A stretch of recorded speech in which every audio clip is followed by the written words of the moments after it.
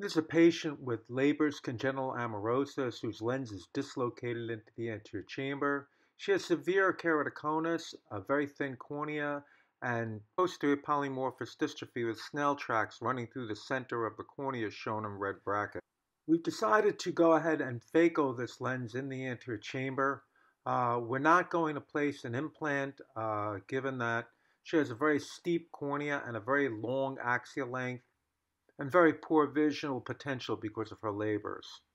Now, I saw her right before uh, the pandemic uh, struck, and we had scheduled her for surgery, but we had to delay the surgery for a couple of months.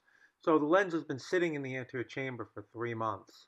Uh, here I've made some paracentesis, and I'm trying to inject Viscoat to isolate the lens away from the back of the cornea but I'm having difficulty mobilizing the lens and pushing back away from the back of the cornea endothelium for some reason. So I'm going to make my clear cornea incision here. And I'm doing this very carefully because her cornea is very thin because of her severe keratoconus.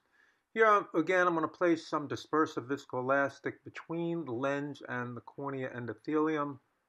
Um, and now we're going to go ahead and put our phaco tip in the anterior chamber. And my goal here is going to be to phaco this lens without having any pieces fall through the pupil uh, to try to avoid damaging the iris and to avoid any damage to the cornea. So here I'm using a cyclodialysis spatula to uh, support the lens as I start to phaco. This is a very dense cataract. Uh, I'm going to try to keep the lens in one piece so that pieces do not fall through the pupil and I'm going to try to keep the phaco tip embedded within the lens nucleus so that energy is not being transmitted to the cornea endothelium but is blunted by the uh, nucleus material itself. So I'll use no phaco power until I engage the nucleus and then I will try to keep the nucleus at the tip of the phaco and support it with my cyclodialysis spatula and try to keep everything as much as I can uh, in one piece to avoid having fragments fall posterior. Here I'm going to remove the cyclodialysis spatula and add more dispersive viscoelastic to support the nucleus and to protect the back of the cornea.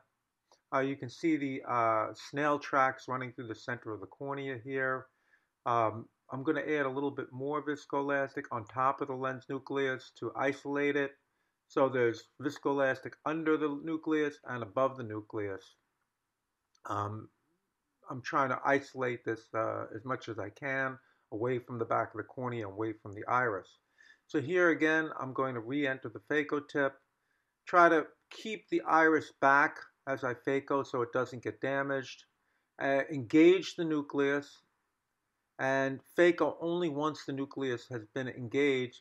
So again, I'm not transmitting ultrasound so much to the cornea endothelium.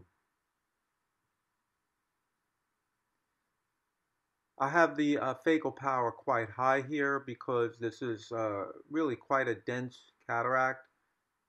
And I'm just taking my time and sort of cartwheeling the nucleus so that the outside, which is less dense, is phacoing toward the center.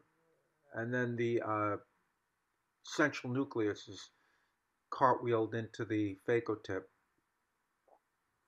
And it's a, a, nice technique if you ever do have to phaco lens material in the anterior chamber and you don't have a posterior capsule. Here the whole nucleus, the whole lens is in the anterior chamber, lens capsule and all. So there is nothing but anterior hyaloid between the iris.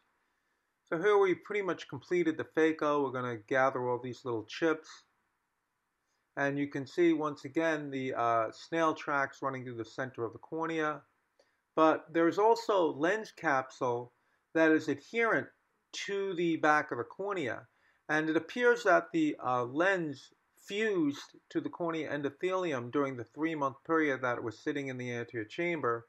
And that, no doubt, is why I was having so much difficulty creating separation between the lens and the back of the cornea with viscoelastic at the beginning of the case. So here I'm trying to remove this lens capsule material from the back of the cornea and you can see it's pretty firmly adherent. So I'm using the uh, irrigation aspiration with high aspiration and I'm trying to pull this anterior lens capsule away from the uh, back of the cornea where it seems to be stuck. And uh, I'm finally able to mobilize this and uh, pull it out of the eye. We're now going to inject dilute triesence to check for any vitreous that might be in the anterior chamber. And there appears to be no vitreous. Uh, we're going to uh, check the wound. There's no leakage and the case is completed. Thank you for your attention.